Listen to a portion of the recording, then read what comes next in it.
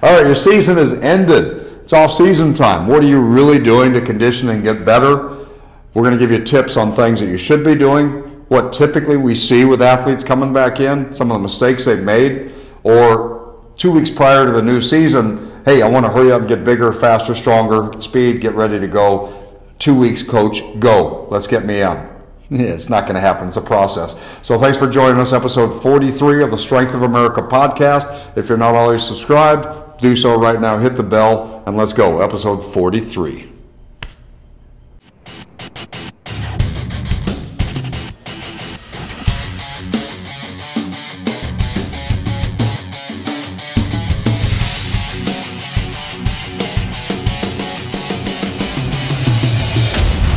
The Strength of America podcast. All right, guys, welcome back again. Episode 43 of the SOA podcast. Appreciate you being here with us.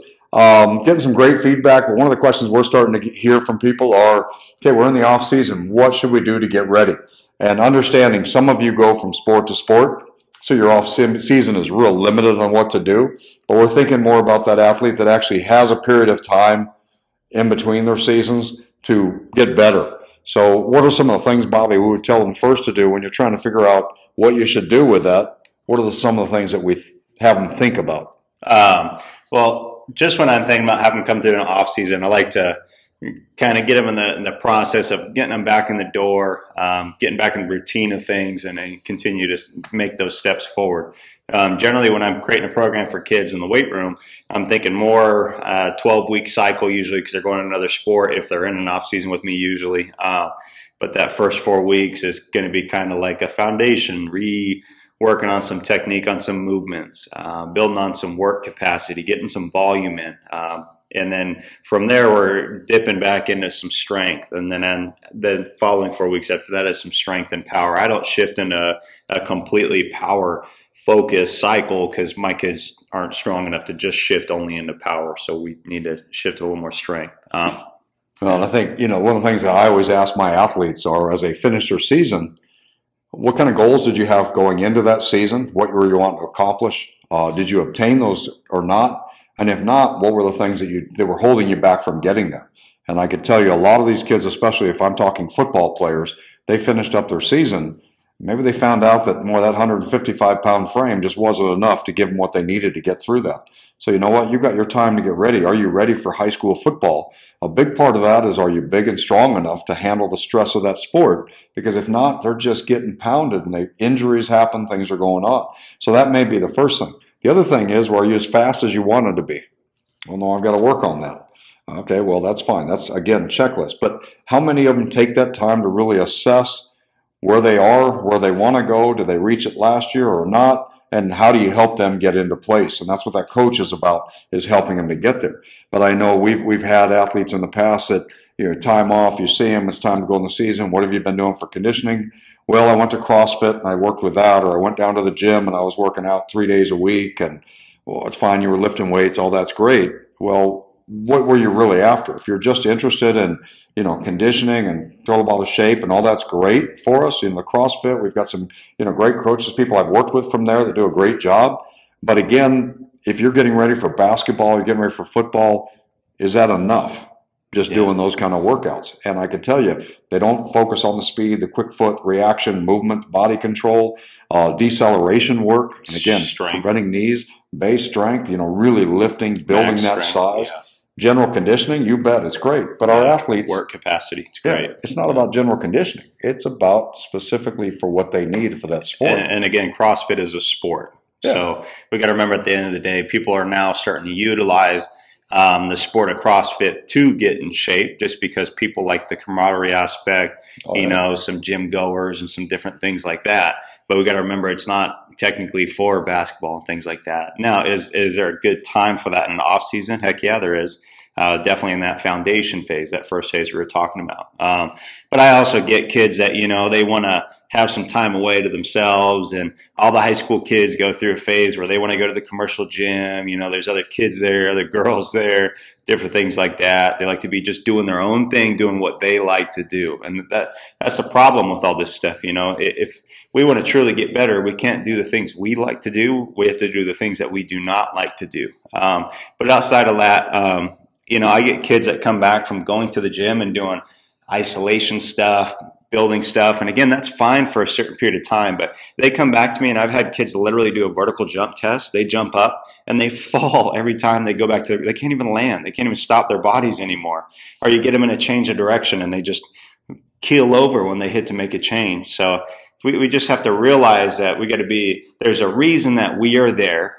We know what we're talking about. And sometimes these kids have to be reminded of this stuff. Um, but also outside of those aspects, I've learned greatly from my football coach that the, the biggest thing that they can be doing in this time outside of the, the quality training coming in for structure is just being around their teammates, doing good things, having that atmosphere. When they have that atmosphere, they're going to get way better than they are when they're just on their own. And that's something I tell some of these kids. I was like, trust me, you're going to have plenty of time in your life where you can be on your own going to the gym and you're yeah. going to greatly miss these moments where you have a team with you and partners with you pushing you. So well that's and how much harder is that? I mean you're doing that workout by yourself too and some of you are self-motivated but we realize when you go in there how many are how many are not. How many times you're working out that they're on their cell phone during that time and that break between the bench press they're on there and they realize it's been four or five minutes before their next set instead of getting three other exercises in. So the intensity is not there. So they work mm-hmm. out with them. They can get that. Not but, the structure. Yeah, you, you got to get your stuff. You get it done and out. It's like our football players. Talk about the spring. One of the great things is track.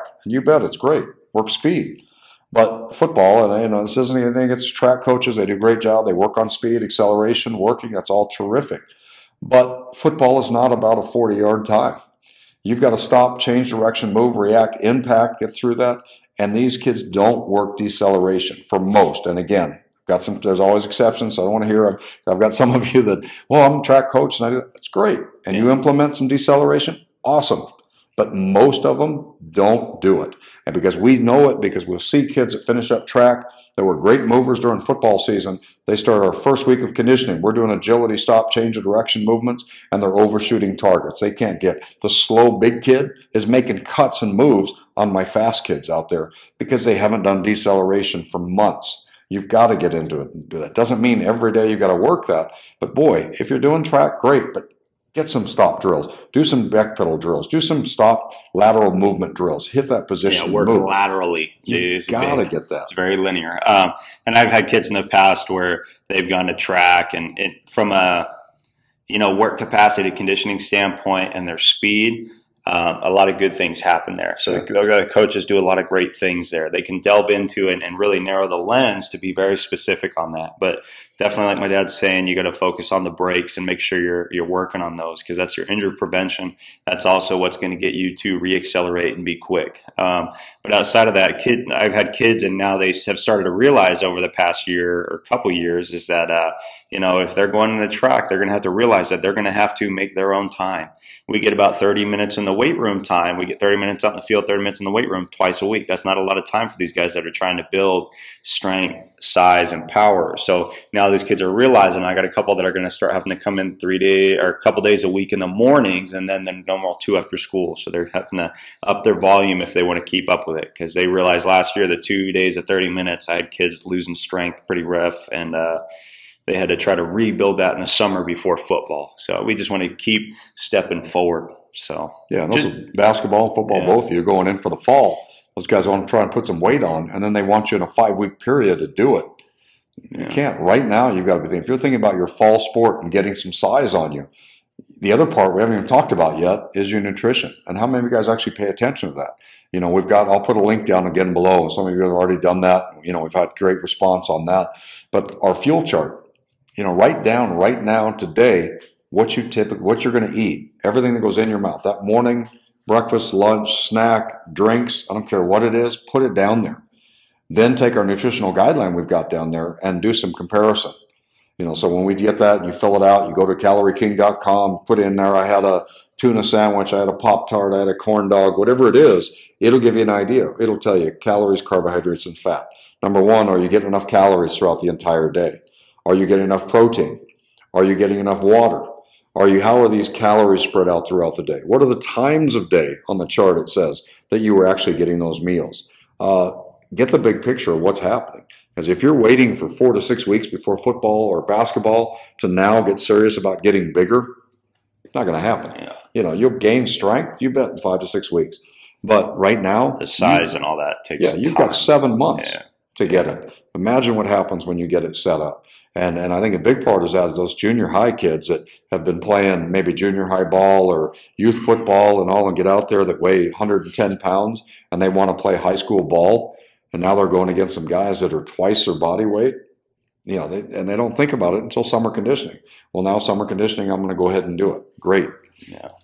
Not going to be enough time. You Yeah. you can't do it. You have to set it up on a bigger picture. And like everybody else says, if you listen to Lee Taft and, and Bobby Smith and the other guys that have done ours, and Joe Connolly has been in the past stuff from ASU, this is a process that takes time to do it. And I can tell you as an old guy, time goes much faster later on. But as a kid, you think you always have time. I can get there. I've got summer. It's okay. I can do it. No, start right now. If you want to be there, you want to get better. It starts right now today. You figure it out. And there's enough resource. If you're following this and listening, you know you got two resources right here you can reach out to that at any time you can email us, call us, tag us, put something on. We'll be glad to help you. But don't wait until what I like all those guys that come in in July or getting ready to start August training and and now I, I want to get ready. Yeah. Well, Yeah. Great, that's awesome. But where have you been the last six months, seven months? So be that athlete that's really going through it. That doesn't mean all of you guys are going to be able to put the weight on you want because some of you don't have the testosterone levels, your body's not ready, but you can sure gain strength, power, and speed and the advantage of some of those guys that maybe are bigger. But I can tell you, durable. I can think of one, uh, Jacob won't mind me bringing him out, Jacob Dembaugh years ago.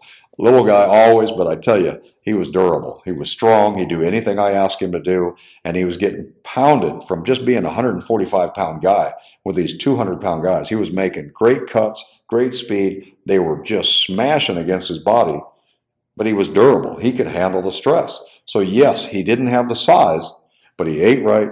He worked out hard, had the ethic to work to, to go after it, and move, did what we asked him to do. And man, he could play ball and went through it and he handled great. And I still watch some of the stuff he's putting out there. He's still working hard and making cuts and doing really well. So, you know, you guys can do it. Doesn't mean, well, I, I'm not going to be 200 pounds, so I can't do it. No, be strong, be durable, eat right, be ready. Your body will be able to handle the stress of the sport. Yeah. And then when your body's ready to go, put on some meat. Great, it'll be there because you've already got the great habits. Then you're going to be amazed when that next year comes back and you haven't seen your grandma in a year or something comes out and she's going, holy cow, who's this extra 30 pounds on this guy? Where'd it come from? So establish it, set those down so you can do it. Like we talked about before, is just that uh, consistency breeds success. But being consistent, good, positive work is what breeds success. Yeah, I think just that was like Coach. Linscomb posted the other day. Uh, so that was a that was a good little comment he made yeah, on that. definitely. What was that? Consistent effort, consistent Yeah, see, I think that's what- training, Yeah. success, something like that. Uh, uh, good, good topics there, good points. Um, yeah, I think that's huge. Kids just if they can just stay consistent. I, I heard from another kid at our school the other day, and uh, he plays ball for us and this and that, but he uh, he's never been a starter or this and that. He's always been just kind of okay being on the team more so. I, I'd say by his mindset and how he uh, applies himself. And uh, sadly, I heard the other day that he said, "Well, I don't know." why would I come in the weight room? These guys are way stronger than me, and even if I work hard right now, I'm not going to be anywhere near them. And I think that's just a terrible mindset to have. Yeah. You know, if you're not good, then all you can do is work to get better. At least you, you may not be where they're at, but they've been putting in a lot more work. But at least if you're here, you can be right here. And if you do that over a period of time, someday you can be there. But you can't defeat yourself before you even get there. You got to give yourself a fighting shot and you got to get after it. So I think people just need to know that, you know, not everybody was blessed with great genetics. Some people have to work harder than others.